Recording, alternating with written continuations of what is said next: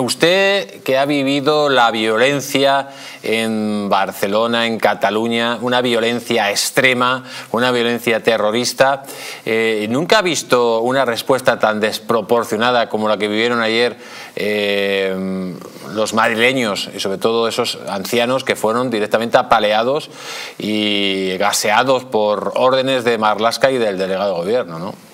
Al contrario, si precisamente cuando los CDR se dedicaban, por ejemplo, en Vía Layetana, a tirar piedras, se dedicaban a amenazar, se dedicaban a amedrentar, y no solamente en Vía Layetana, la Comisaría de Policía Nacional de Vía Layetana, sino por todo el centro de Barcelona, los, los antidisturbios tenían órdenes expresas de aguantar, aguantar y aguantar, y, y aunque al final cargaron, aguantaron carros y carretas de gente que les escupía, les tiraba de todo.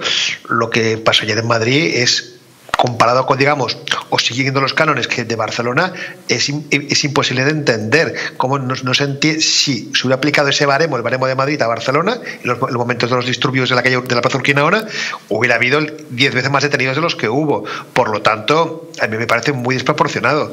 La policía tiene que actuar, por supuesto, cuando hay incidentes, pero lo de ayer no, no tiene sentido. Lo de, ayer no, lo de ayer no fue lo de Barcelona. No ha sido ni siquiera lo de hoy, porque hoy, hoy al menos, aunque eran, eran, eran pocos no tenían, nada, no tenían nada que ver con la gente que se manifestó, eran incontrolados, que como bien habéis dicho, es sospechoso a ver dónde han salido, porque no han detenido a muchos.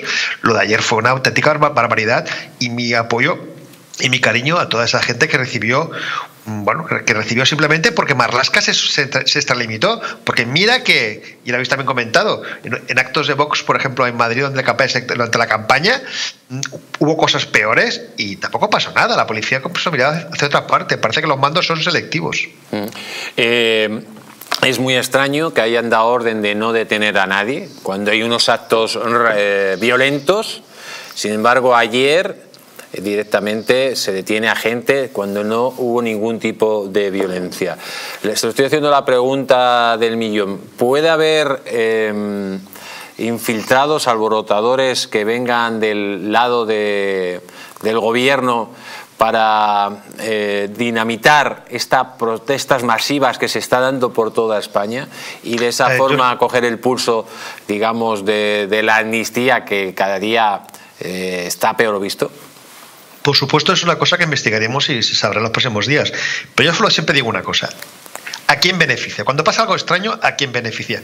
¿A quién beneficia que protestas masivas y espontáneas y no violentas, a contrario, muy cívicas, por parte de madrileños hartos con el gobierno?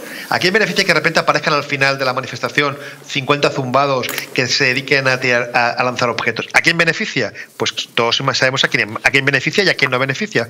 Por lo tanto, yo sí que quiero pensar, no tengo pruebas, pero pienso y creo que sí que posiblemente haya gente que haya decidido echar una mano a los socialistas, porque si no, no se entiende que además no los, hayan detenido. Yo he visto imágenes, se ha visto claramente, que eran 10 o 15 o 20, pero que eran muy identificables. La, policía se los, hubiera querido, se los hubiera querido llevar, se los hubiera llevado y no, no lo han hecho.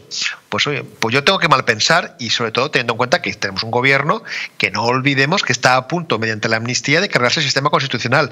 Un gobierno que es capaz de aprobar esta amnistía, la amnistía acá para complacer a un prófugo, ¿por qué no va a tener la tentación, insisto, no lo sabemos, pero podemos sospecharlo, de infiltrar unos cuantos para deslegitimar una protesta legítima de gente que solamente está harto de Sánchez?